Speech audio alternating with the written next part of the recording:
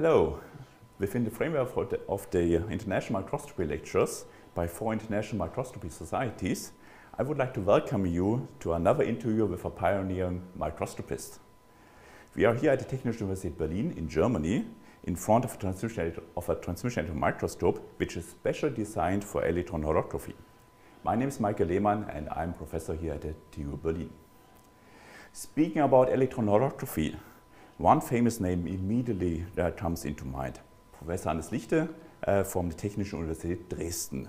It's a great honor and a pleasure for me to have him uh, and a conversation with my teacher and mentor today. So welcome Hannes. Nice to see you here. Hello. Welcome. so please have a seat.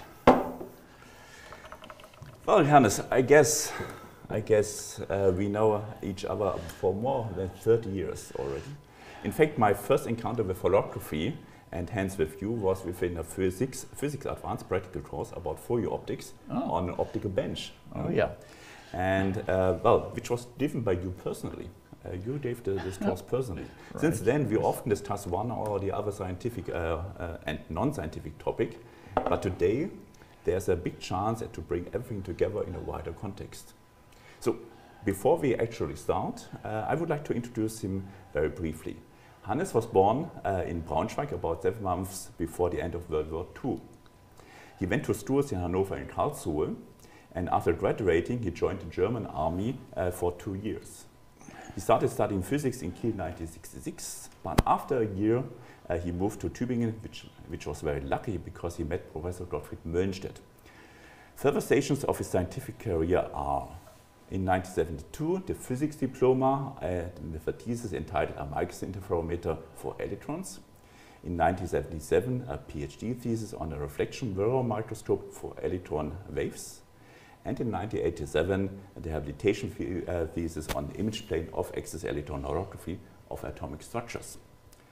In 1989, he became C3 professor at the University of Tübingen and in 1994 C4 professor at Technische Universität Dresden.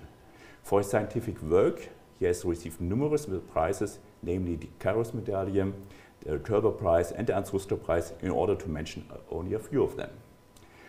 Okay, Hannes, where shall we start today?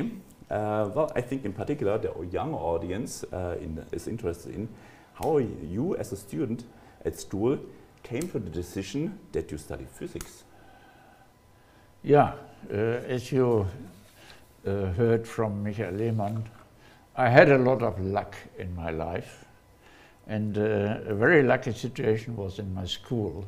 I was in a classical gymnasium.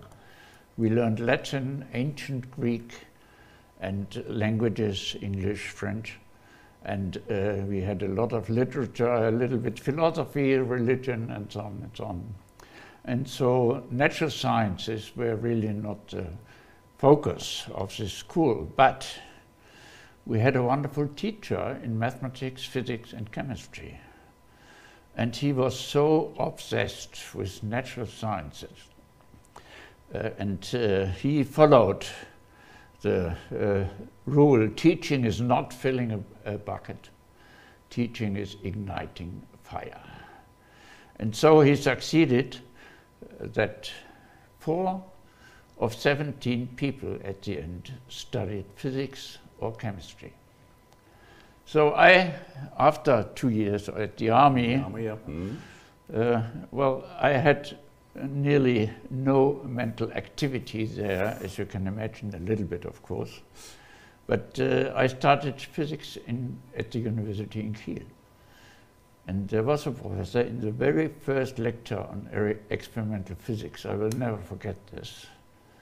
And he started his lecture saying, only 35% of you, the audience, will achieve a diploma degree. That's hard, yeah. What a provocation of young students. I must say he was right at the end, but this was a moment for me to decide to fight. And so I fought two years after, uh, two semesters after uh, uh, what I left Kiel and went to Tübingen, and this was a very happy uh, situation. first I had to pass my examination, the pre-diploma examination. And uh, okay, everything went okay. It was not very brilliant, but it was okay. and then uh, we, uh, we attended the practical exercises in the Institute of Applied Physics of Professor Möllenstedt. And I was fascinated, fascinated seeing all these different experiments. And uh, this was a TEM, this was an SEM, this was materials analysis by X-rays, and it was electron interference. And so uh, I decided this is the institute where I would like to uh, get a topic for my diploma mm thesis. And uh, this was, in my opinion, this was fascinating physics. So I went to the office hour of Professor Möllenstedt and asked him for a topic a diploma thesis. Well, he interviewed me about my background, about my studies, about everything, about my interests. And then he proposed, I have a topic which is highly interesting, and uh, this is electron interference topic. And uh, I would be very uh, much interested if an electron wave preserves coherence when it is reflected in an electrostatic electron mirror. Of course, this is a real challenge to. This was a real that, challenge. Yeah. This was experimental quantum mechanics. this was very mystical to me, but at the end it was very challenging. And so I agreed. During this time, this institute was pretty large, wasn't it? At the Möllenstedt Institute. Uh, they had a lot of uh, uh, students, about 20 diploma students, 20 doctorate students. They had 20 engineers, uh, uh, precision fine mechanics, electronics people, and they had about 10 people, uh, faculty members, we would say, mm. professors and assistant professors and people of the staff, of the scientific staff. So this was a very big institute, but it was a very familiar institute. Mm -hmm. This was very interesting to discuss with the neighboring students in a neighboring lab, in a neighboring room, uh, because uh, there were so many topics on electron optics, on ion optics, building instrumentation, developing methods, and doing all these applications for a very specific topic, like in my case. My topic was an electrostatic electron mirror, and uh, you cannot buy such an mm. equipment. We have to design it ourselves with the help of engineers. Then it has to be built. Then you have to do the test experiment. and finally, after two years, in the case of a diploma thesis, you have a result if you are happy. So have you been starting from scratch, from scratch or had been there some standardized system for building such an electron optical bench or something like that? Uh, the institute was uh, an institute developing instrumentation, 1st mm -hmm. of all.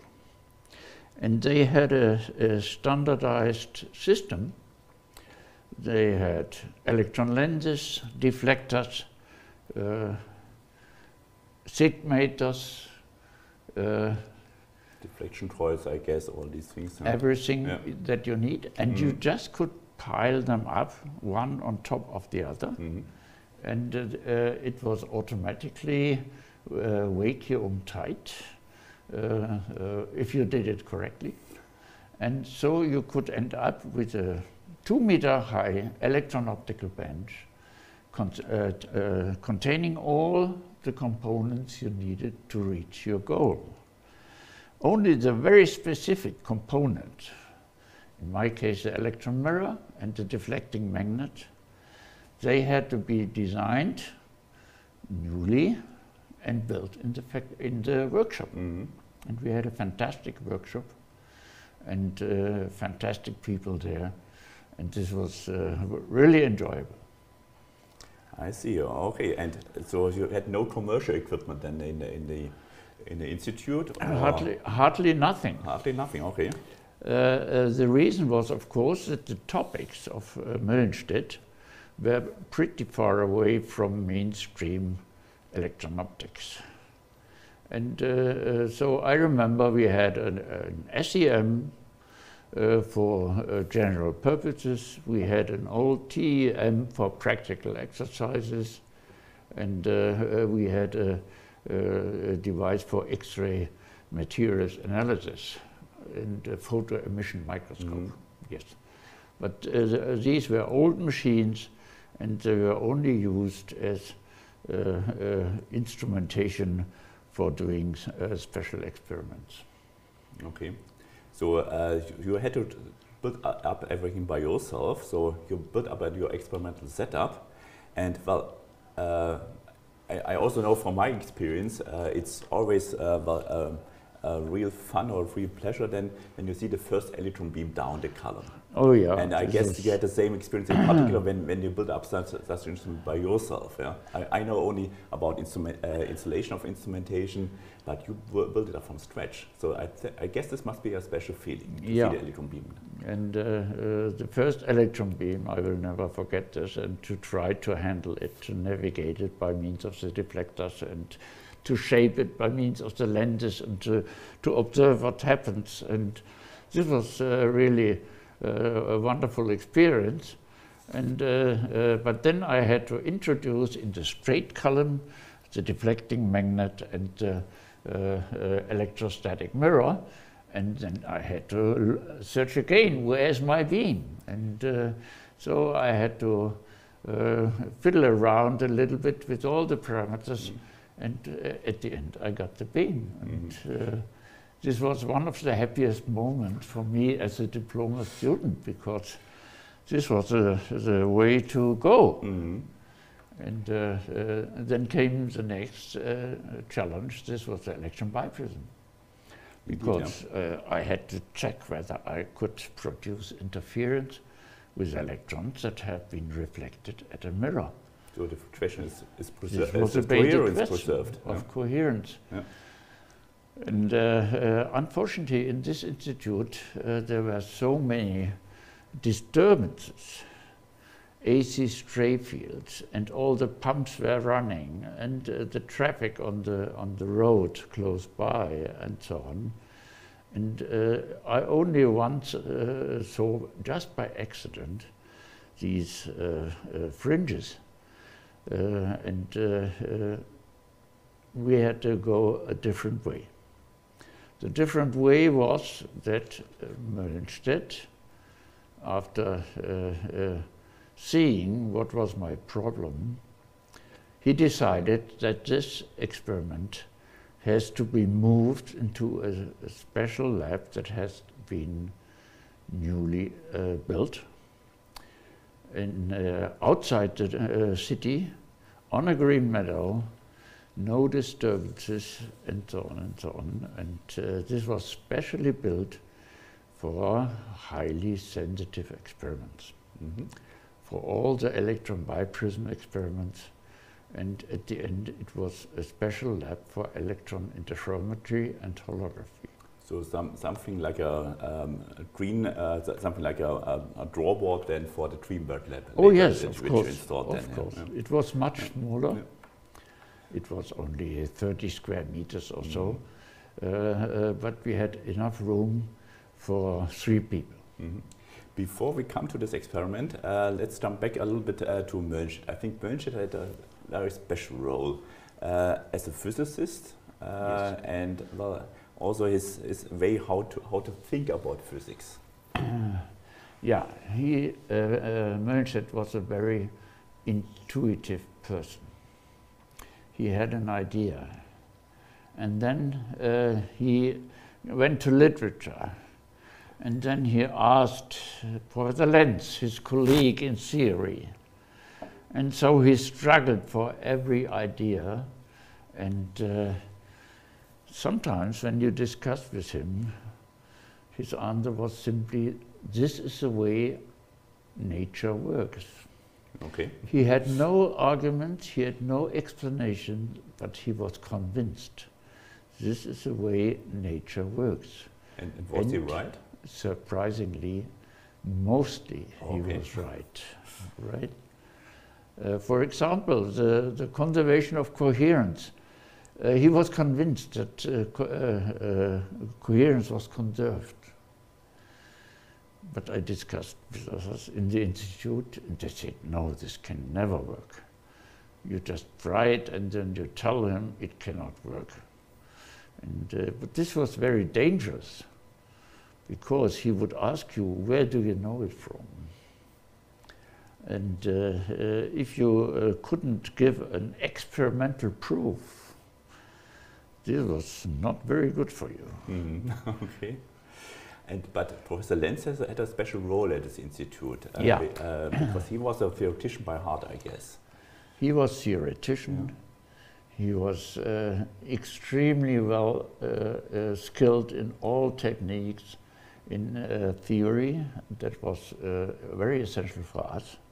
For example, calculating fields, ray tracing, and uh, Fourier optics, and uh, uh, imaging theory, everything that you uh, needed to understand. He knew it and uh, he was uh, uh, in scattering theory. This was his uh, Mhm. domain. Uh, he was one of the best worldwide. So whenever you did an experiment, uh, then Möllenstedt was very strict. You have been forced to go with your equations, to go with your uh, numerical uh, calculations to Professor Lenz I know for it, yeah. approval. And uh, uh, Professor Lenz, he was really a hard guy.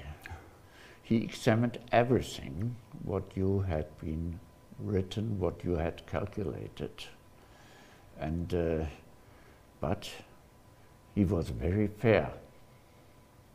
And he always wanted to help you Mhm.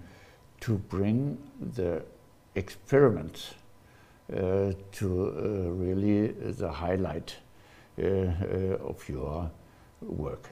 It's the same experience what I made as a, as a tiny uh, diploma student, coming then into the office of Professor Lenz and discussing my, my, my things about uh, electron uh, holography reconstruction problem and the principle Yeah. of that. Yeah. So th- there had been um, um, a special, I think, atmosphere also with, uh, with teaching then in this institute. So another um, man here is uh, Professor Kasper, I, I, I would say. Ye- Uh, yeah. in this institute, there had been a special, let's say, culture of teaching. Then. Yeah, and uh, uh, uh, he offered a row of or a series of lectures about electron optics, about everything, and he he, he gave us a script to the students which was handwritten, where all the relevant formula had been worked out, and the relation uh, between them have been shown and applications have been shown. So we had a wonderful education in this institute on one side, experimental uh, uh, education, on the other side, theoretical education. And we always had to see these two aspects together. So this was a good combination then. I, and as, as far as I've learned, uh, the, the book of Principle of Optics and by Hawkes and Kasper was Yeah. one of the results of that. It's a, Yeah. I think of three uh, volumes then this volume. Yeah, Uh, this is a- a wonderful book, and uh, this should not be missing in any library yeah. Yeah. of electron optics. You'll find nearly everything in there. Um, there had been also a point about uh, Möllenstedt. Um, Möllenstedt was, was on Ivy conference or many conferences, I would say, and it contacts all over the world. Yeah, And uh, well, uh, so he met different people, and I think also discussing uh, lots of things. How does it? In, how has it influenced then your mirror interference microscope? microscope? And I think there had been some encounter with Dennis Gabor at this Uh, stage. certainly uh, uh, we had an encounter with Dennis Gabor, But this was not the only thing. Uh, you mentioned his uh, uh, visit, uh, his, his, traveling activities yeah. around the world. He was uh, very familiar with Japan. He was uh, sometimes in US and in Europe everywhere at all the conferences and he had cooperations. And so we had a lot of guests also in our institute. Mm. As a young student, it was fascinating uh, to, to see and to discuss with these people. I remember the discussion with uh, Dennis Gabor. Mm. He came in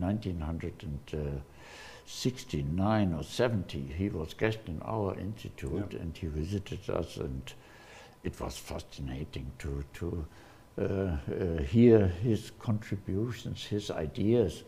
Uh, for example, to my experiment uh, I was doing on the Michelson interferometer. Mm -hmm. And uh, okay, so we had a lot of people from abroad. Uh, we did our exercises in English. This was quite nice, and so we had people from Japan, of course, and we had people from US. We had people from from Australia and uh, Britain and uh, all the famous names, mm. which I cannot enumerate here. Yeah, um, but I think one would say today this is some kind of an international competence center then for electron optics yes. in these days. Huh? Yes, yeah. this would be yeah. the name uh, given today. Yeah, to today. okay, let's come to the uh, laboratory for electron interferometry, where you build up your electron mirror interference microscope. Yeah. I think uh, there Dr. Herbert Wahl had a special role there in, in the construction of this uh, building and then later in the collaboration with you. Uh, Wahl was a very interesting person. He had finished his PhD on electron interferometric measurement of the uh, flux quantization in hollow cylinders. Mm -hmm. This was an extremely demanding task and uh, uh, uh, thereby, he learned how to optimize a lab. Mm -hmm. And Möllenstedt organized the money and the means to build up this lab uh, because uh, Wahl wanted and uh, should go in the direction of electron holography. Mm -hmm. And uh, this was uh, uh, the main task Wahl did after his PhD. He set up a concept for electron holography, and this concept was image plane off axis holography. So he's the inventor of this image plane. Yes, yeah. uh, because uh, the, the, basic idea of Gabor, just to take a Fresnel uh, uh, defocused image of or shadow of your specimen, this would not be sufficient for atomic resolution because the coherence of electrons mm -hmm. would not allow it. The reason is that from a specimen like this one here, the scattered wave, they go into a, a certain angular width, and the atomic fine structure goes into the large angles. So you have to catch the large angles by superposition of a broad, coherent reference wave. And therefore you need a lens. I and guess. therefore you need lenses, this is one point, mm. but you need a very bright electron beam. Mm. You need brightness. And uh, otherwise, you wouldn't end up in a quantum noise. Yep. And uh, so Wahl asked the question, under which circumstances will I get the atomic uh, diffraction in a hologram without being limited by the degree of coherence. And this is the case if you go into an image plane because then the objective lens focuses back everything into the image mm -hmm. plane and you just need to illuminate coherently the image plane and the reference wave for the image plane. And of course you have to open the aperture. you have to open the, The aperture. aperture, yeah, to uh, have all the uh, reflections then. This is right. And uh, uh, the point is that even if you have aberrations now, and you need lenses uh, to form such an image hologram, and these lenses might have aberrations, even if you have these aberrations, then uh, they form a point spread function well within the image plane. So uh, that means that you can sample all the information in the point spread function coherently. So, and this is a point uh, we will discuss, We will uh, discuss later, then, on. yeah, yeah. Uh, uh, then you need some aberration correct, uh, correction, which can be done uh, on an optical bench, but uh, you have atomic information available. This was a Yeah. point why uh, developed image plane electron off-axis holography. So as far as I know, um, you had to, there in this uh, laboratory for electron interferometry two rooms. In one room, uh, uh, Dr. Wahl was, was uh, well, establishing this image plane off-axis electron holography. Yes. And uh, in the other room, you had your electron mirror interference microscope. That's right. And uh, well, uh, how how does uh, how was it work in the microscope? I think you have a, a slide with you, uh, Yeah. where you can show uh, how how this microscope is looking like, and there we also see this optical bench, uh, the electron optical bench. Yeah. Uh, this is uh, uh, on this slide. This is already the result of my uh, subsequent PhD. Mhm. Uh, when I moved all the interferometer stuff to this special lab, uh, I really could show that electron coherence is preserved. And I found out that uh, the height structure, the topology of the uh, mirror uh, surface would produce phase shifting effects. And this was the reason why Möllenstedt offered me a PhD thesis uh, uh, to refine all these effects and to, to use such an interferometer or interference microscope for measuring surface structures. Mm. I, I think you have you have a few slides with you you Yeah. can show uh, how how, how something like Okay. this looking. This shows here, this is a result of my PhD work. Uh, this shows uh, the large high column, 2.4 meters. We have a field emission gun. This was a commercial one, which uh, we bought from Albert Crewe in Chicago. This field emission gun, biprism, and here is the heart of this uh, mirror microscope, a deflecting magnet and uh, the electron uh, mirror, then another biprism, projector lenses, camera, and so on. So, and here you see we uh, took such a triangular deflecting magnet. This is Henry Castaing magnet, and then electrostatic mirror here. Uh, you see here the drawing. Uh, we will not go into detail. The electrons are reflected, go back. Here the biprism uh, allowed to navigate partial waves and to superimpose them, as you can imagine here. And this was one of the results. This is a flat glass surface, evaporated gold, and the squares you see here have a height of 2.5 nanometers, period 12. And you see in the interferogram very clearly here the deflection, so we can measure on the surface very small details. Or here there's a cleavage phase on a uh, uh, calcium bromide uh, crystal surface. And here we have a plane reference wave, and this wave goes down. And so we get a phase shift here of approximately 10 pi. That means a tenth of this, or even a hundredth of this, can be measured on surface structures. And uh, uh, the same uh, with potentials on the surface.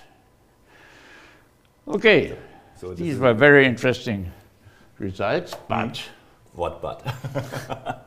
what but? I finished this work in 1979, and in 1980, Binnig and Rohr -hmm. they came up with the scanning tunneling microscope. Mm -hmm. And this was much, much better. it was much, much easier to handle. And it would cost only a fraction of such a electron Michelson interferometer. So there was no chance for further application. And uh, so I had uh, to learn that the better is the enemy of the good. but, but this is my but now in, in this case. Uh, well, you have learned a lot of wave optics, I guess, because you did it from scratch. Uh, you had a field emission gun, you had um, uh, the, um, the reflection at the mirror, you were about uh, making interference pattern by means of your two biprisms. So I think uh, this was a hard school, but a good school for the, for the next projects. It was an excellent school. Uh, first, experimental aspects. What I have to do to see electron interference. And the other side, of course, is theoretical, how to interpret things. What means electron coherence? What does it really yeah. mean? What is a, way, a wave propagates in space? and uh, Fresnel diffraction, Fraunhofer diffraction, the Kirchhoff uh, diffraction integral. And all these things, I must say, I learned a lot from Herbert Wahl. Mm -hmm. Because on a daily basis, we met, he did his holography, I did my interferometry, uh, and we discussed uh, everything that we saw on the screen, that we uh, evaluated at the end and uh, when we asked what is the meaning of such a thing. Yeah. And so we had uh, uh excellent discussions and he taught me so much. I'm really grateful to him. And uh, uh, this was the reason that at the end there was no application for my PhD, but I had collected so much experience, I had uh, uh, learned so much about electron waves that I could go on. And all the things around that vacu vacuum and, and electronics and all the yes, disturbances and so on and so on. Yeah. All the things what we in our, our generation will never learn it in, in this detail when, when we buy an instrument. And, you know instrumentation is so essential. Even if you use an uh, industrial uh, uh, device, it is really helpful to understand what are yeah. the in instrumental details. This is the reason why I uh, tell my students don't use this instrument like a black box. We like to understand what happens in the microscope. That's very good. Mm. Back to the roots. Always. Back to roots, of course, yeah. Always. And well, I think you have also a, a few interesting uh, first results from Wahl, from his first holograms with you. Yeah. Yeah. Uh, here in, uh, in your slides. Okay. Um, um, I have to switch now here. Yeah. yeah. Okay. Uh, Wahl recorded his holograms on an Elmiskop 1. This was built in 1952. It uh, still had radio valves in the electronics. So it was a really old-fashioned thing, but he mastered everything, he stabilized everything, such that he could, at the end, take holograms, image plane off-axis holograms. Off-axis means using a biprism, and uh, image plane means he recorded in the image plane. And uh, this is uh, original uh, pictures of all, and you see here, these are the objects, this uh, zinc oxide, something needles, and you see here the fringes. These fringes are the interference fringes of, in the hologram. And you see the quality is very, very poor. And this was at the beginning, field, uh, Wahl had no field emission gun. He had nothing uh, of these things that are standard here. You have a 300 kV field yep. emission gun or Schottky emitter, is this. Mm -hmm. And uh, uh, so he had exposure times of up to 100 seconds. Unbelievable, yeah. And uh, uh, nevertheless, of, uh, he took approximately 100 holograms. But this was on a photographic plate during this It time. was on uh, photographic plates. And uh, uh, three or four of these holograms, these uh, were good enough that he could reconstruct the waves. And uh, this we can see in the next slide. Or, original from the uh, Habil thesis of uh, Wahl. This is a hologram. Here you see a bright field reconstruction. Here you see the dark field reconstruction. And here you see an interferogram showing the phase distribution in this object. And the point is, these reconstructions were made on an optical bench that he built specially for the reconstruction purposes of this off-axis holograms. And he designed the mathematics behind it, and it's exactly what we are using today. Mhm. But using this on a computer. We are yeah. using Yeah. this now for numerical image processing in a computer. And this is exactly what uh, uh, Herbert Wahl wrote in his thesis, Mhm. with all the sidebands and uh, masking out and, and uh, going back to real space and applying uh, uh, uh, uh, optical means to see the phases, to see the amplitudes. This has been there in 1972. Mhm. He had developed this and applied it. And uh, this was fantastic. I guess we're really making then the foundation then for further work, for further exploration of this Yes. area then, yeah. And uh, well, uh, during this time also mentioned that, well, uh, had lots of contacts, people all over the, uh, to people all over the globe. To Dr. Watanabe, for example, at Hitachi Company in Tokyo. Yeah. And there is, was also a co- young co-worker, Akira Tonomura, Yes. in 1968. And Yeah. uh, there were not so many experiments in electron holography after Gabor proposed this in 1948.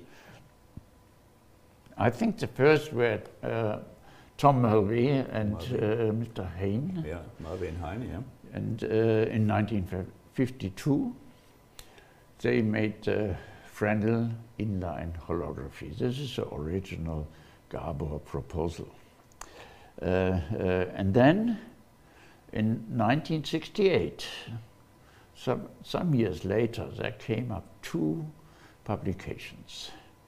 And one was, I mention him first, Tonomura, Mhm. Akira Tonomura on Fraunhofer uh, holography. What was the idea? Fraunhofer means you are in the far field of your object, very far away, and uh, you get a Fraunhofer diffraction pattern. You have to superimpose the undiffracted waves, so this is an inline experiment, and then you get uh, some interference phenomena there. And uh, uh, uh, since uh, at reconstruction, not only uh, the wave is reconstructed, but also the conjugate wave is reconstructed. We, this is a so-called twin Twin- image twin problem. problem, yeah. Uh, uh, this was reduced in Fraunhofer because the distance of the conjugate images is very large. So it was a large defocus, I guess. It was a, an Yeah. uh, the, the conjugate image appeared under an extremely large defocus. Mm. It was more or less a structured background. Yeah. So this was the basic idea of Tonomura. And uh, uh, the other uh, publication that appeared was uh, Fresnel off axis electron holography in the same year by Möllenstedt and Wahl. Mhm. And there uh, they tried to make a Fresnel, that means a slight defocus, off axis, that means using a biprism and uh, superimposing at some angle the reference wave, uh, uh, the hologram, and uh, the off axis technique uh, uh, solves the twin image problem. That means that we have no more the superposition of the uh, conjugate and the uh, uh, non-conjugate image. Well, you have it out of the optical axis then, uh, the twin image. Yes, and the point is that in this case of axis, uh, uh, the twin images, of course, they appear always. But uh, in off-axis technique, they are separated angularly. Mm. So you just take a mask and mask is off, Cut it out and, yeah. and then you can use the remainder and you can reconstruct the Mm. wave. So these were the two uh, publications uh, in electron holography. So, and Akira Tonomura was then invited to come to the lab. And uh, Tonomura, uh, he was with uh, uh, Watanabe Mm-hmm. in Hitachi Company in Tokyo, and uh, uh, Möllenstedt arranged uh, that Tonomura uh, uh, should come as a guest scientist to our lab and uh, uh, to cooperate hmm with us. I think you have a, we have a you have a picture of, of both of them. Oh yeah, this is. Oh, uh, this uh, shows. Uh, it's a very interesting Okay. point. Uh, this is a focal series that Wahl reconstructed from one hologram on the optical bench, and you see here in the details of the fringes. It's under focus, it's in focus, it's over focus from one hologram on an optical bench. This is slightly the direction of aberration correction uh, that he uh, showed in this case uh, uh, already in 1973. So, this is Tonomura, a happy youngster from Tokyo, very sympathetic, and we had a lot of enjoyable moments. And uh, uh, this shows uh, on the right side Akira Tonomura. This is uh, Ushikawa from Nagoya. He was in uh, our group in the same year, and Bernhard Lauer and myself. Okay, this was a very happy and uh, creative atmosphere. We discussed about many basics, and uh, Tonomura was introduced by Wahl into the uh, image plane off axis technique that he had developed so far. So Tonomura was sitting at the old Elmiskop 1 and uh, uh, recording holograms. And uh, the yield was not extremely high, as I mentioned. And at the end, Tonomura learned how to reconstruct the waves So, so he on was the he- optical bench. Yeah, so, so he was seeing all the difficulties you were fighting with, or uh, was fighting with recording holograms. Then. Yes, Yeah. of course. And so, okay, this is a step later. This later. Uh, this was interesting. Uh, uh, when Tonomura left, he uh, stayed one year, and then he left and went back to Hitachi in Kokubunji, and uh, there he had the chance to develop a completely new electron microscope, specialized, dedicated to electron holography. So it had a field emission gun. Mm. He could produce wonderful fringes, uh, full of contrast and so on. And uh, uh, he uh, uh, designed very many beautiful experiments, uh, in particular in the realm of uh, magnetic structures out to superconductivity. Mhm. And uh, uh, okay, we have not the time now to discuss details, but in my forthcoming lecture, I will show uh, the most beautiful examples. Oh, wonderful. okay. Um, well, let's come to atomic resolution electron holography because at the end of your doctorate uh, procedure, uh, we, you were well, you had your mirror microscope, but uh, you found out okay, this can be somehow the end now of further development. And how did you came then to the to the to the topic that you well, further like to develop? Yeah. atomic resolution electron holography. Uh, the point was in 1979 when I finished my PhD and uh, uh, was disappointed by Binnig and Rohrer, so to speak. yeah. Uh, and uh, I was thinking about uh, my future and uh, I saw uh, that uh, I was the only person in those days in this lab for electron interferometry. So, so Wahl had already left then? Uh, Wahl had left. Mm, he okay. had a professor position in a, a, different high school and was very busy there. And then uh, Möllenstedt one day came and asked me, what are your plans for your future? Are you going to industry? You want to uh, earn big money also? Or uh, would you like to uh, stay in academia? And I uh, really must say i am more in favor for research and mm. academia and I so understand. on. and uh, he uh, asked me whether I would have an idea what to do in future, what could be my working direction. And it came to me that uh, we, this lab has been the, the origin of uh, uh, image plane holography.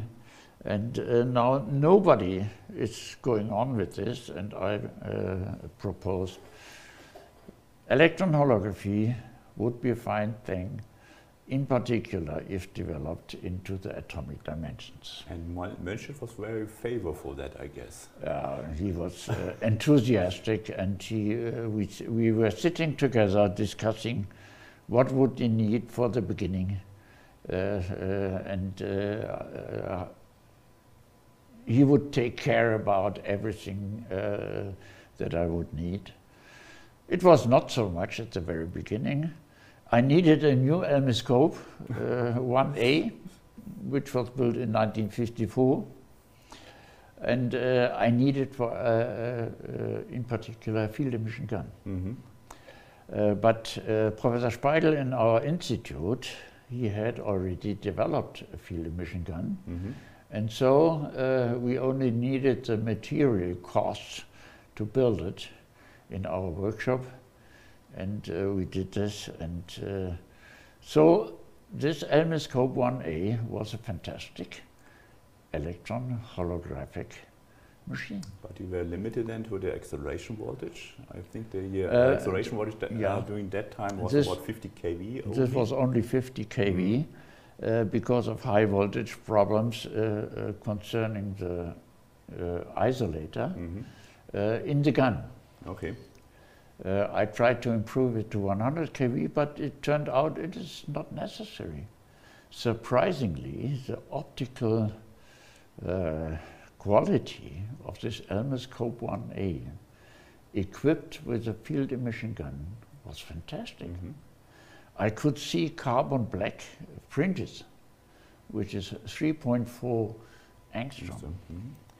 in this microscope at full contrast. Uh, uh, at uh, 40 kV, the point resolution of this microscope officially was six angstrom. Okay, unbelievable right? in these in, in today days. Yeah. so this means with a field emission gun on top, the information limit was uh, uh, much improved, and we mm. could see the uh, fringes, which is not point resolution, which is only information limit, but nevertheless wonderful quality. But you need very fine fringes uh, for atomic resolution. Yeah. So this there's a, a sampling theorem, a criterion which has been, I think, established by, by Herbert Wahl. Yeah, uh, and uh, so I, uh, this the next slide here. This shows uh, what is the problem to uh, for atomic resolution holography. for atomic resolution, you need very fine fringes. This is one of the results of Herbert Wahl, that uh, uh, uh, you need three fringes uh, to sample uh, uh, in a hologram. For example, a fringe distance in a crystal. And so this means if you want to reach one angstrom as a vision, you need 0.3 angstrom fringe spacing. And this was out of reach. Nevertheless, what was uh, the problem? In the usual uh, uh, geometric arrangement, you have here the source. This is the coherence angle for a certain degree of coherence, right? Okay, here's your object reference wave, biprism here. you superimpose in the image plane under a certain angle. This angle is given by the geometry here. Now, this angle is very small. This means large, the yeah. fringes are very large. Now I thought, how can I improve this? And well, it was not too complicated. Well, at, at I put the, you know instead of here, I shift the biprism here. And then for the same uh, coherent situation, I now have a much larger angle of mm. superposition. And this is what I did in my Elmiskop 1A, and this was working fantastically. I got fringes much smaller, approximately two angstrom mm. fringes. This was sufficient for the beginning, yeah. and so I could go on. But you had the luck that uh, Professor Herrmann came as a successor of Professor Möllenstedt, and he brought yeah. an, uh, an uh, Philips EM420, the field emission gun, one yes. of the this rare one. Yeah. Uh, uh, Professor Herrmann came from the Fritz Haber Institute in Berlin, and he was an expert in magnetic lenses and in imaging and in aberrations and in doing everything in a microscope uh, at high resolution. So when he came to our institute, he had nothing, an aniscope or something. Uh, and so uh, uh, uh, in his list, of course, at highest priority there were the wishes to build up a high-performing electron microscopy. And so he asked me, uh, what would you need for holography? I, Herrmann, I would like to have this and this and this, and uh, uh you, you, are, uh, you have some special needs. And I said, yes, I have one special wish, and this is a field emission gun. Mm -hmm. And then we could uh, improve things. And so he bought an EM420 with a field emission gun. The problem with this instrument was the following. Just uh, uh, to, uh, for, uh, to make the use of this microscope very easy by standard people, they had, by a small computer, interlocked all the lenses. Mm -hmm. So you had a switch where you could select magnification. You had a switch where you could switch from imaging to diffraction, and so on and so on, different modes of your electron microscope, but we had no free lens control. So at the beginning, we could not realize this path of rays, but uh, with the help of Philips company, uh, uh, we succeeded in getting free lens control, and then everything was uh, uh, improving because it was important that you shift then the image plane then yes. uh, for, yes. for recording holograms. Yes, yeah. we have to be able to shift uh, uh, the objective lens excitation a little bit. So instead of here, we are looking into this plane, we have to over-excite the intermediate image lens, uh, the intermediate lens, uh, to look into this uh, plane and so on and so on. These were tiny differences but uh, we needed them urgently. And uh, okay, it was successful. We got fringe spacing uh, smaller than one angstrom, 0.8, and then it approached 0.5. And uh, I remember taking my first atomic resolution hologram. This was uh, New Year's Eve 1984. So Everything was prepared. Uh, outside of normal working hours, I guess. uh, New Year's Eve yeah. means on the 31st of December, uh, uh, let's say midnight. This is uh, New Year's Eve, yeah. when the new year comes in. And I was very alone in the whole building, right? Mm. Only the night guard was showing yeah, up sometimes. and I had uh, uh, aligned everything and so on and so on. And shortly before the new year came in and all these fireworks would start and make a lot of noise, I made a lot of shots, exposures, 25, a whole box. And uh, so then the new year came, fireworks started, it was very noisy, but I had some results in the box. Now I took them, went to the darkroom, I developed them, fixation, everything, and then I had my first holograms. So in the same night you were in the darkroom? In the same Yeah. night, of course. Okay. I was very, I was, was not so patient to, to wait another day for the results. And so uh, I went into the darkroom and I had my first real good quality holograms, 0.8 angstrom fringe spacing of carbon black with 3.4 angstrom One lattice yeah. constant. Mm, This was a remarkable day for me. I guess so. And during these days, the reconstruction were, were all done in on, a, uh, on an optical bench. But Yes. I, I think you found out that, that this is somehow of a bottleneck or of the reconstruction. Uh, You, we had to go no, to, to numerics. on one side, uh, an optical bench is a wonderful instrument to, for teaching, and every physics student uh, should uh, be some hours, uh, work for some hours at an optical bench, Mhm. because there you can really see a Fourier transform. Yeah. So a lens is a Fourier transformator. yeah. A, a lens is a Fourier transformator, and you can mask out single reflections, and uh, you can happen. Uh, look what happens. You can apply Zernike phase technique, uh, phase contrast technique, and so on. So this is what I recommend to every student: go into the, such a lab and take your time. But the optical reconstruction for holography is not flexible enough. Mhm. So uh, uh, uh, you need for reconstruction a special lens. And if you want to correct aberrations, for example, then you need an, a lens which is specially designed for your electron microscope, to the spherical aberration of And- your electron microscope, to the counterbalance it. And, the, and the, uh, according to the experiments Yes. you have done. yeah. And that's why uh, Professor Hamann, who was experienced in numerical image processing, Mhm. he recommended do it numerically. Okay.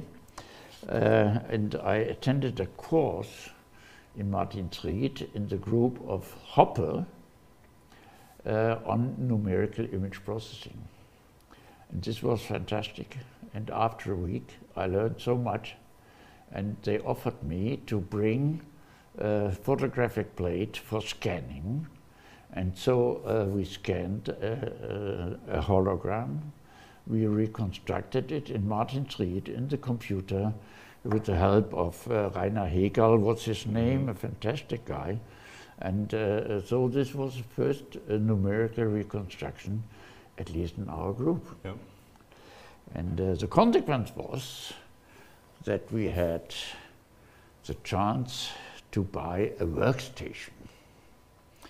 You remember the, the computers uh, had a frequency, a clock of six megahertz. Yeah, megahertz, not, not gigahertz. Yeah. Mega, megahertz.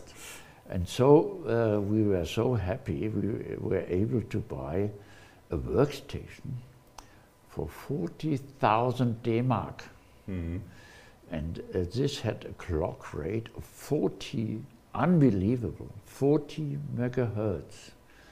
It was our star in the, in the, in the institute. And it was called Gabor. It was called Gabor, yeah. Yes, this is worth mentioning. And uh, uh, uh, in, in, uh, uh, since then, uh, we were reconstructing and uh, uh, first steps of aberration correction. This was your uh, Mhm. work, your diploma thesis, and your doctorate thesis at thesis the later, end. yeah. Uh, they have been performed at these instruments. It was unbelievable. We, uh, I remember I uh, needed for a focal series uh, from a hologram, I needed approximately uh, one hour per focal step. And this was only 256 calculation time. This was a 256 by 256 pixel uh, uh, uh, reconstructed wave. Yeah. Right? But there have been later then interesting results in uh, doing aberration corrections. I think the problem is that there are about 10 parameters, which has Or to even be more. even more, even more. Yeah. even more which has to be determined. Yeah, we underestimated Yeah. this problem completely, Yeah. I must say. Uh, uh, we thought, okay, uh, we have defocus, this is one parameter. Spherical aberration, this is another one. But then we have two for twofold astigmatism. We have two for threefold astigmatism. We have two for axial coma. And we need to gauge the wavelength. We need to gauge Fourier space and all these things. This was uh, a nightmare uh, that we uh, uh, uh, tried to uh, find other solutions. And I remember this was one of your points in your PhD work. For example, is the idea we can use the symmetry relations of the phases in Fourier space, which was not uh, available before the dark times of holography. But now we can reconstruct the phases in Fourier space and we can examine the symmetry. And uh, uh, we know, for example, that the uh, uh, phases in the refractions are symmetric in case of a central symmetric crystal. crystal. So, and if we know additionally that this is a pure phase object, then we can say, okay, the phases must be pi over 2. So we just exchange the phases to pi over 2. And in case of a, a central symmetric weak phase object, mm. we can do this. And then we have corrected aberrations. We don't need these 10 parameters. But in more general case, when you have thicker samples and so on, you need another criterion. And this was one of the things what, what I tried out. Well, this is what you should Yeah. mention now because Yeah. this is your PhD yeah, work. this is part of my PhD work where we Yeah. tried to, uh, uh, well, to, to use the amorphous age then of a crystal uh, to minimize that contrast in the amplitude. yeah. I think in, in your slides, I think you, there are a couple Yeah, of, there of we are. examples. uh-huh. Oh, first of all, we, we come later to the Triebenberg lab. Yeah. Um, well, we, um, we have here a hole here in a, in a, a gold foil.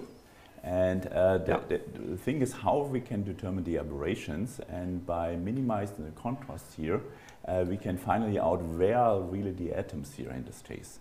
And um, I think this is uh, fascinating. If Yeah. you if you go back, I get You- back. yeah, we okay. have here the point spread function convoluted around the hole, blurring everything. We don't see really where is the hole, and now we correct for aberrations. and The then we are point here. spread function shrinks to a delta. And we see the phase here, and the phase is then peaked then at the atom positions. Yeah. And uh, when we draw a line scan here, for example, then uh, we can uh, extract here uh, the phases, and Yeah. from the phases we can even measure how many gold atoms are there in this uh, uh, in this column then. you know. And this has been also then exploited then here for uh, gallium arsenide here, and there was asking the material science question, where are the gallium atoms and where are the arsenic atoms? And doing holography from the amplitude, well, this can hardly be judged because it's so there's complicated. hardly a difference between Yeah, the two. this is uh, very noisy and also influenced then by uh, aberrations. But when you correct uh, for uh, aberrations and, we, and you take care that you're really on zone axis, really we can identify, okay, this is a gallium and this is arsenic, this is gallium, this is arsenic column. Here also already already from the line scan here. Yeah, uh, we should say that this is a beautiful example for holographic materials analysis uh, possible on an atomic scale. This is because we have a certain relation between the phase shift of a single atom and atomic numbers.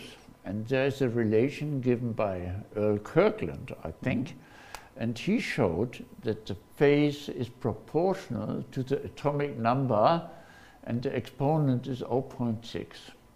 So this is a very clear relation and that's why we can, uh, in many cases, uh, distinguish between different atomic species. Despite the fact that they are really close together in a, in a, in a uh, atomic number. Yeah, they are No. 1.4 Yeah. angstrom or so. Uh, yeah, and the, distance and also the uh, the atomic Yeah, number. yeah, it's- this is only Z two. is 31 and arsenic is, is 33. Yeah, I think we have here.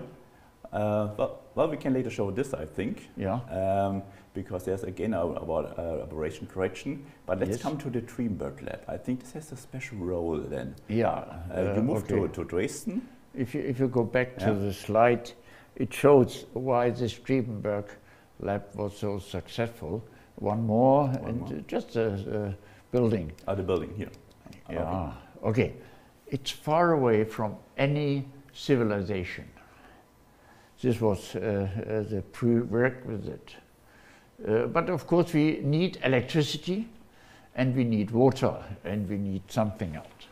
So, this was a building uh, constructed in a way that it was very uh, uh, insensitive against mechanical vibrations, that it did not produce by itself uh, disturbing AC stray fields. So we had in this lab a situation which is approximately 500 times better with respect to the stray fields than a normal good lab. Okay, and uh, this was outside Dresden. Uh, distance to the next settlement was two, two or three kilometers, so it was extremely quiet. And I remember when we moved our CM30 Yes, from Tübingen. from Tübingen to this place. This was done by Philips company, and the service engineer, Mr. Ludwig, he did the job, and he uh, uh, installed the microscope. And uh, all of a sudden, he came out of the lab screaming, "What the hell is going on here?" And uh, I asked him, what, "What's the problem?" He said, "Without the air cushions of the column, I have atomic resolution. I see the gold atoms without anything. which, which, was- which has never seen before Yes, in other labs. yes. no. This was really fantastic. And uh, so these uh, examples uh, with uh, the gold crystal and the gallium arsenide, and uh, uh, uh, the uh, final example that we would like to show, uh, again the gold crystal. Uh, uh, uh, no, uh, these two have been The- the- two have taken been in. Triebenberg, and this and, one And this one here, has been taken at FEI, cooperation between Berlin, Dresden, and FEI. exactly, because we had here a, a gold foil here in the microscope just for testing the, the microscope. And uh, this was an aberration corrected microscope. And so we are now entering the, uh, the age of aberration correction. And uh, despite the fact that we uh, use the aberration correction, our atoms here, in particular in the face, are they are tri- triangular shaped and not round, what we expect. So this indicates the aberration corrector was not uh, perfect. Not perfect, but very good. And this helps us a lot uh, to find then the aberration coefficients. But gold atoms usually are not uh, have not a triangular shape. no, not triangular shaped. And therefore, when I switch then to the next uh, So- transparency, then you see the things what you also expected from then for from uh, simulations. Uh, that you had uh, really a peaked uh, value there of a high contrast uh, at the faces uh, where the uh, gold atoms are, and you see something like a donut structure uh, in the amplitude image. Yes. And you see how complicated then this uh, re, uh, uh, residual wave aberration is. So this is a good combination between um, aberration correction and electron holography because This is uh, these are the data for Yeah. fine tuning. Uh, this is remarkable. Yeah. For example, defocus four nanometers, uh, spherical aberration of third order 0.01 millimeter. This is fine tuning. This is one of the wonderful possibilities uh, holography offers. That uh, uh, even in, a, in an aberration corrected microscope, we have the chance for a posteriori aberration fine tuning. so But there is also an advantage of aberration correction for holography. these machines are much more stable Mhm. because aberration correction needs it. We have a more stable uh, illumination part. The condenser optics is better. That means the degree of coherence is better for a given uh, brightness of the gun. And uh, uh, there are so many advantages of both sides that I would say, okay, aberration corrected microscope is uh, the best basis for doing atomic resolution holography. So in the, the very end, then um, uh, Dennis Gabor's dream of uh, well, correcting aberrations in a second step has come then true. If you go one uh, step further, yes, Yes, because then you can really measure how many uh, um, uh, atoms then in a column. this is one gold atom here. You see one gold atom here. Two, three, four, five. And look at the amplitudes. Oops. The signal is already for one atom. The signal is in saturation. So you cannot discriminate between one, two, three, four, five. The amplitude looks always the same. And what's even more interesting, that the phase images of atoms are very small. And uh, that you see uh, in the interspace between the atoms, Here, here Yeah. in interspace. We have nearly no atomic information. But in the amplitude, we have the full modulation still. So uh, the spreading of the atomic information, which is not due to aberrations, this is the interaction. The interaction between electrons and the object, the gold atom. That's what uh, produces this wonderful effect. And uh, I think uh, this is a beautiful example. I'm very happy about Yeah. this. Right? But atomic resolution is not everything with doing, for doing holography. There are other very, very interesting examples where you use the uh, reconstruction of the electron wave, the phases of the electron wave, then Yeah. for measure electric potentials or for measuring uh, magnetics. And I think we have one, oh, we can skip this uh, for a moment. We, uh, we have one example here of a 3D potential, what you have brought with you. And maybe you can explain something about that. So I Oh yeah, this is an example uh, uh, uh, produced by Daniel Wolf, who is an expert now, I would say, on uh, holographic tomography. And uh, but uh, I must admit, uh, the first experiment on holographic tomography uh, was performed by Tonomura's group 1991 or so. And then there were uh, uh, experiments by Alison Harrison Twitchett and uh, Rafael Dunin-Borkowski in Britain. Cambridge in those days. mm. And uh, but they had to uh, do the whole tomography series by hand. And Daniel Wolf has now everything under computer control. And this is a very nice example. So can we start this movie? I've to click the next one. No? No? So. Oh, and this is uh, just a, uh nanowire, and now we are looking outside, inside. We see that there is a gallium arsenide uh, uh, core in the shell, and we can analyze all the structures. Uh, so we have now 3D. Holography in light optics is 3D. But it can't be in electron optics because scattering is always in a very narrow forward direction. And this means we cannot move out to see the object from a different perspective. We have to stay within this cone. Uh, so uh, the trick is that artificially we open up the scattering cone by rotating the specimen and take many, many, many holograms. And then we have uh, uh, covered the whole angular area that we need for a 3D, and this is what you see here. And then you do a back propagation and uh, put it back then to a 3D model. Then. There's a lot of mathematics behind it. There's a radon transform uh, uh, uh, And uh, I, I, will not go and cannot go into details. But you have a second example with you. Yes, we have uh, another one, and this is unveiling the three-dimensional magnetic texture of skyrmion tubes. And this is from Daniel Wolf and Axel Lubk. And uh, this shows uh, uh, what we can see today. Uh, these are the skyrmion tubes. In this direction, we see here our specimen.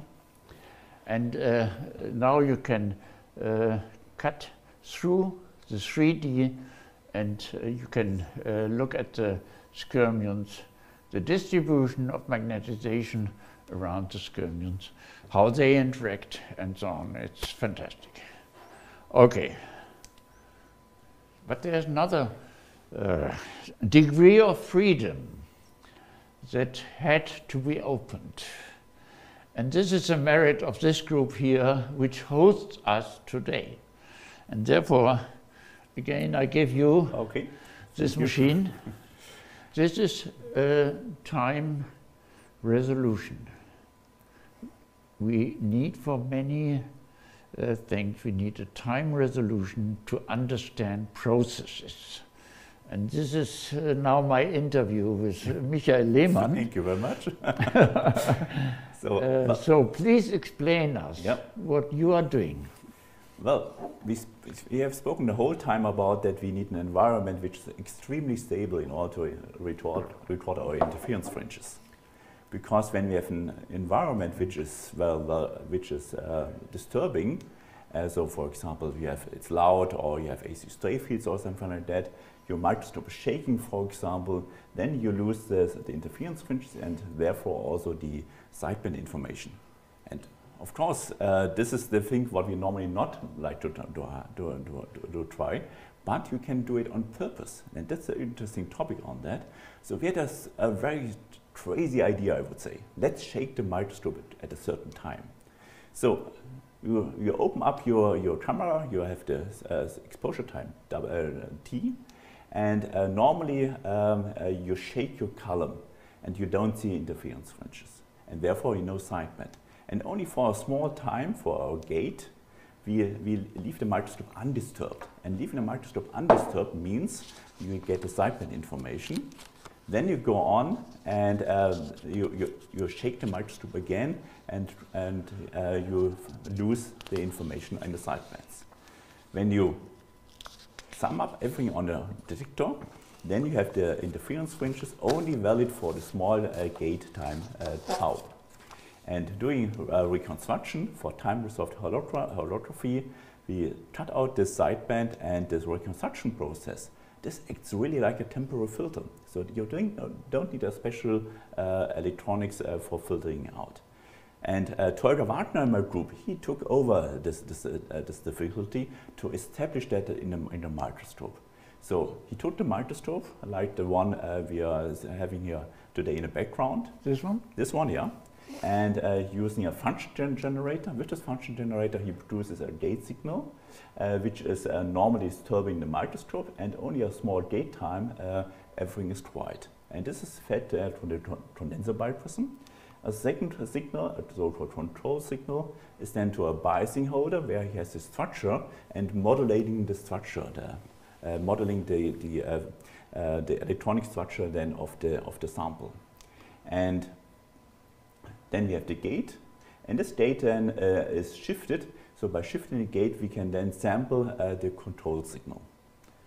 So this is, for example, the control signal as measured here on the oscilloscope, uh, which we apply then to, the, to, to our sample. And uh, for 3 megahertz, so that means a, a periodicity of 333 nanoseconds. And so we are using, for example, a PN junction, and this is contacted here, the PN junction. And uh, we normalize the potential, uh, so we uh, take um, a, um, a, hologram without um, applying the voltage, and then we measure only the differences then due, the, uh, due to the uh, external applied voltage. Then.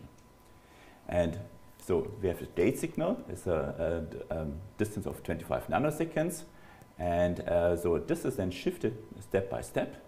And always holograms are recorded and uh, the normalized potentials reconstructed. Since this is here on a high level, so it's zero volt, there's no phase information.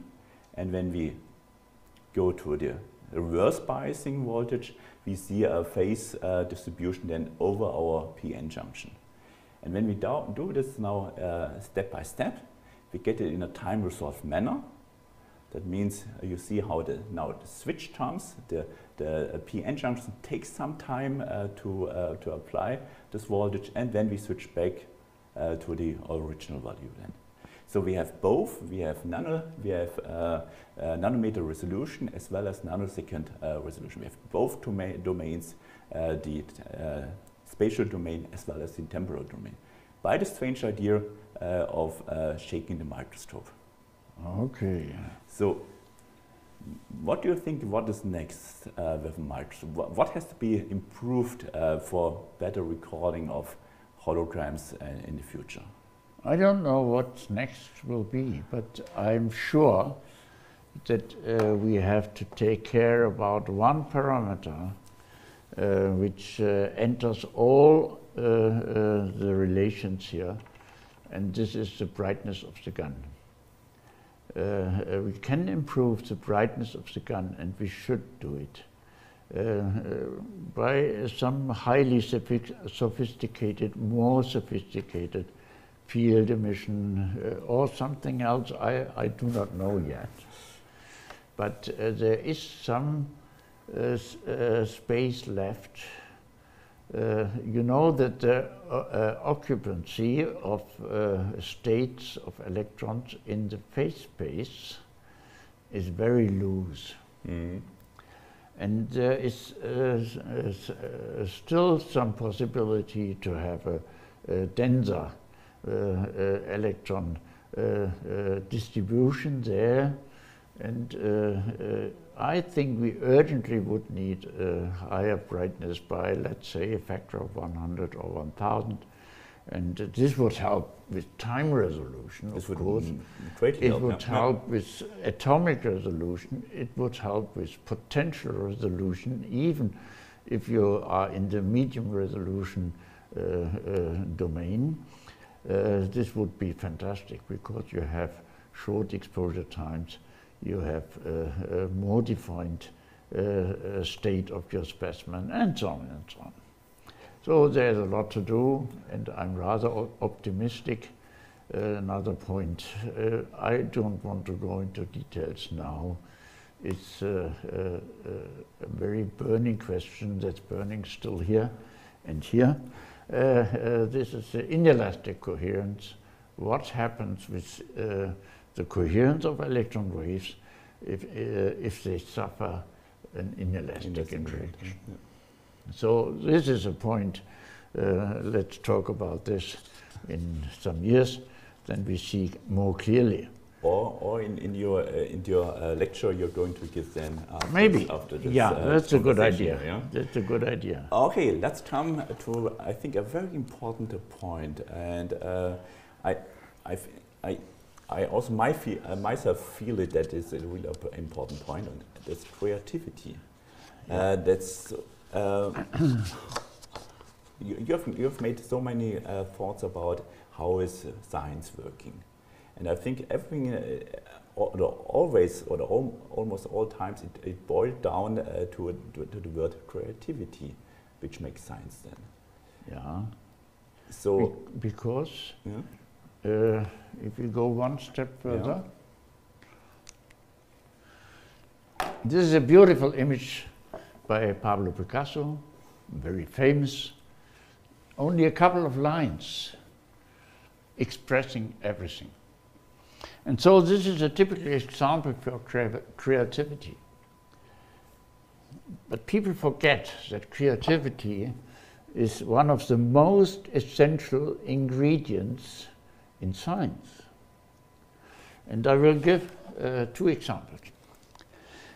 Dennis Gabor. I heard a so-called hearsay, a hearsay. I heard it and I say it, a rumor. He was an adolescent, was very active in, in a sports club. And after activities, they took a shower, boys and girls separated by a milk glass. And he started pondering. The information is there. A similar problem came up with the Scherzer theorem 1936. Lens uh, aberrations are unavoidable. And again, the question, what do we see? The information is there. It is blurred somehow. Is imaging without lenses possible?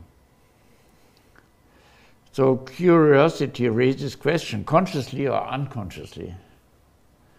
The brain is searching for a solution. And uh, later Gabor reported on an Easter Saturday in 1947 on the tennis court between two matches relaxing in a deck chair. So his brain was not occupied with science or so.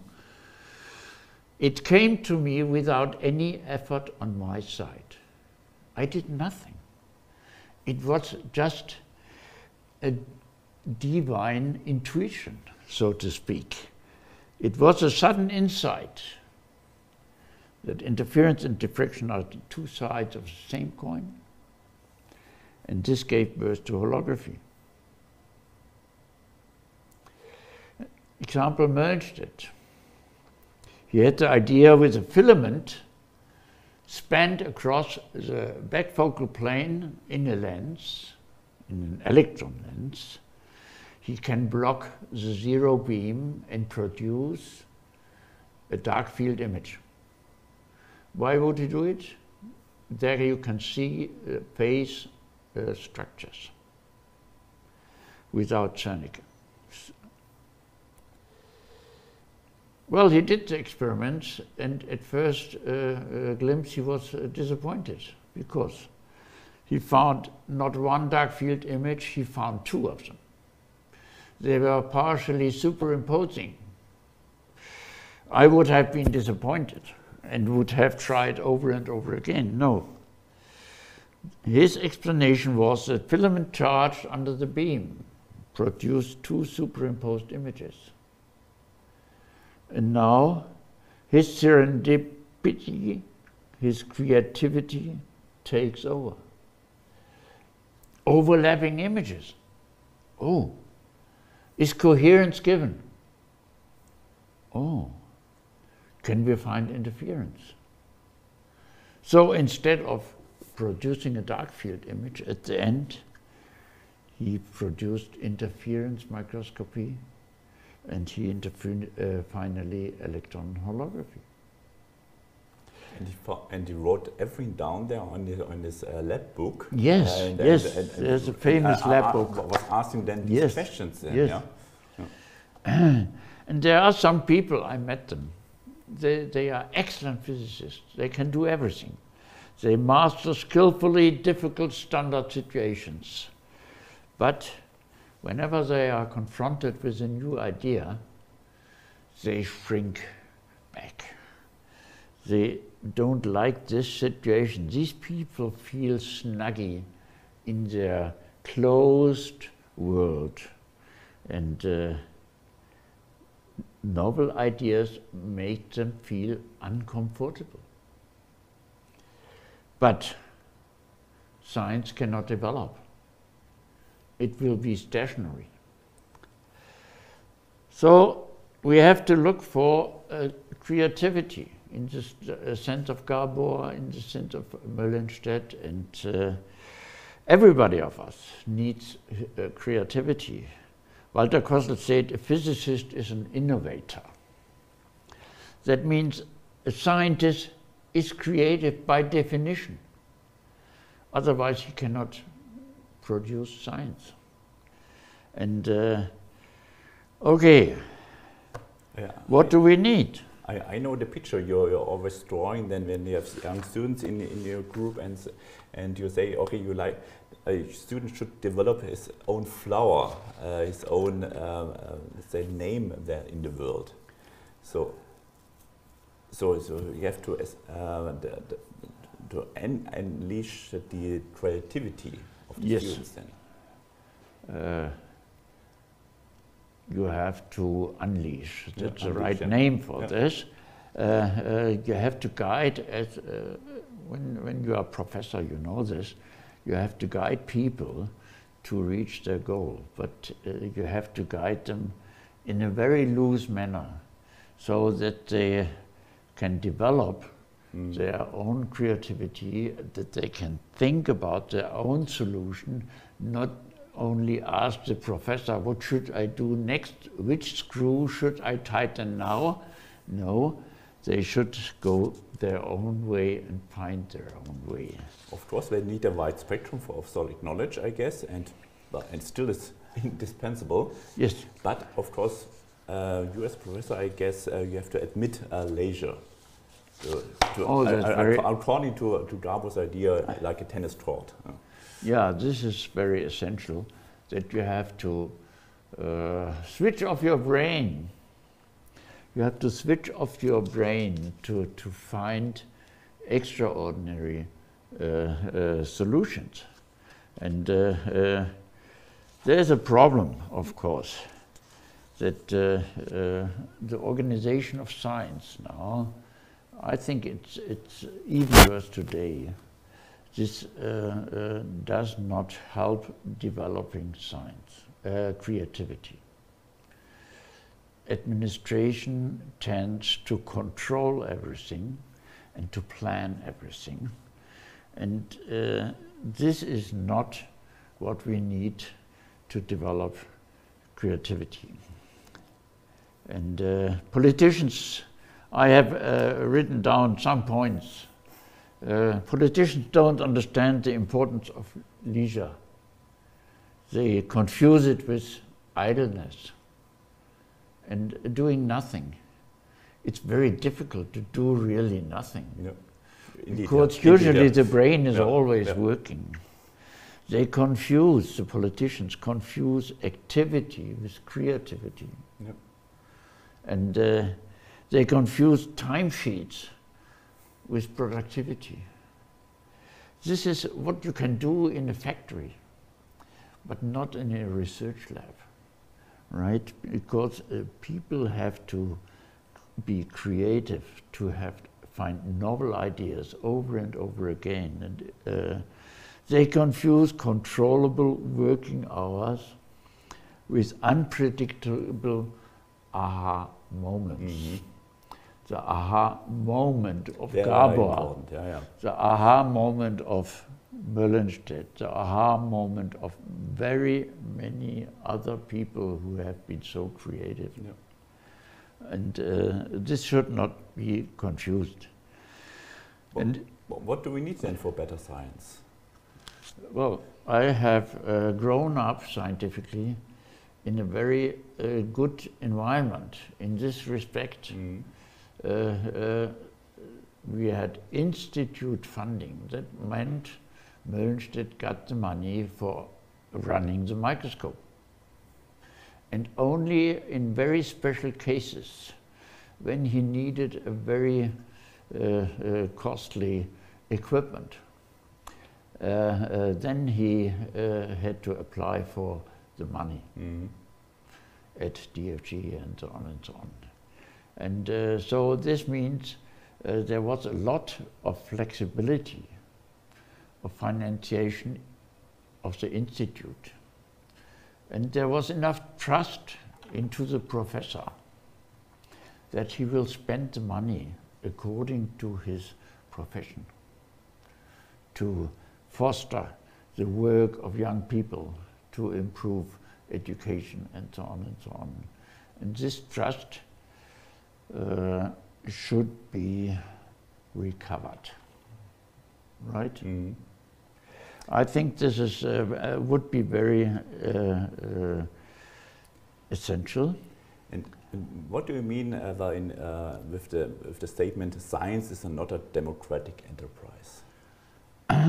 Yeah, there is a very famous discussion in climate research about this. That uh, 95% of all climate scientists agree with uh, some uh, uh, uh, that humans are responsible and so on and so on. This is, of course, nonsense because uh, science is not a democratic enterprise. That means we cannot vote for the truth. No, we, are, we have measurements, we have we measure. Of course. Hmm. You know, uh, uh, there's a famous story about Albert Einstein. When he developed his uh, theory of uh, relativity, a journalist asked him, Mr. Einstein, uh, what do you say? Uh, there are 100 physicists who are opposing, opposing your theory of relativity. And Einstein said, why do you need 100? One is sufficient. yeah. So this means if there is anybody who really is in a controversial discussion successful, mm. then this is sufficient in science. We don't need a majority, we don't uh, uh need a minority, we need uh, the search mm. for truth. And this needs controversial discussions. And I think also a, a very famous example for that is uh, Louis de Broglie, where it was the discussion about particle and oh, wave. yeah, this is even more interesting. Yeah, yeah. yeah. This is even more interesting because it shows the problems uh, a very creative person like uh, Louis de Broglie has with new ideas.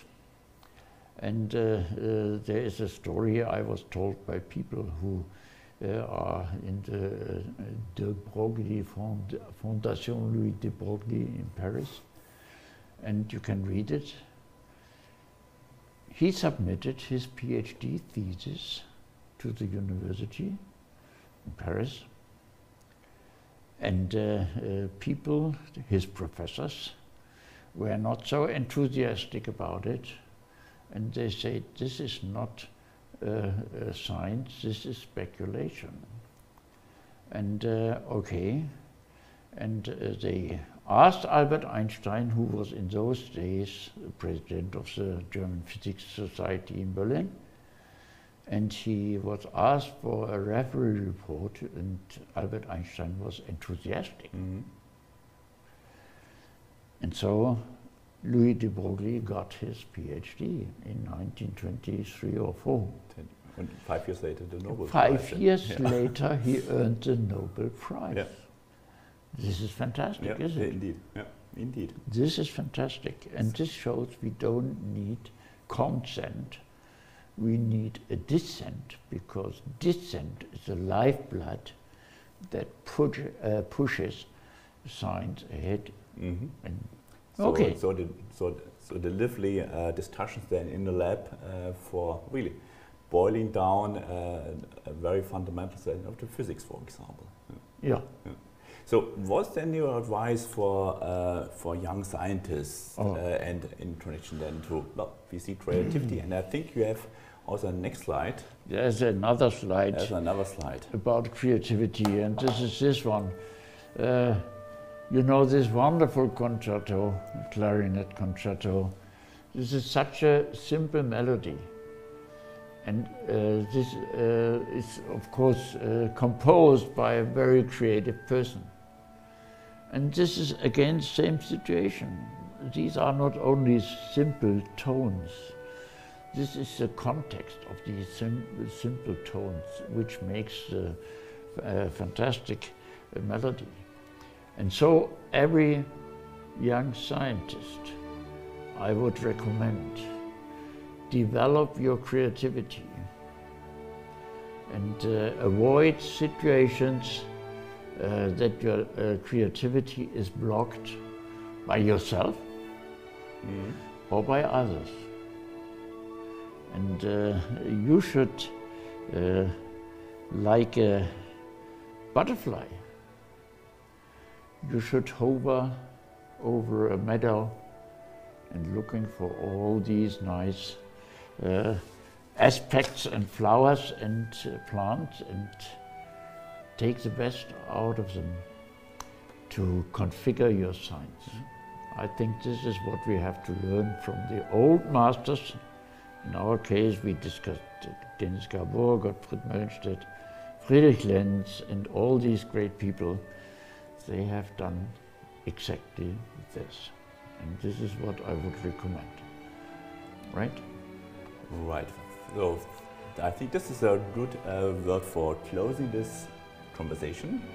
And uh, well, uh, many stories to be told, uh, uh, in, uh, but this is outlook here for the next generation of students, for the students and scientists. Let us stop here. Many thanks for the conversation about you, the development of electronmicrography, and for sharing your thoughts about politics and creativity, most importantly. So thank you, thank you so much, Hannes. So thank you for joining uh, us and thank you for also uh, all the audience there outside for joining us uh, in this conversation. Thanks. Thank you very much. Thank you.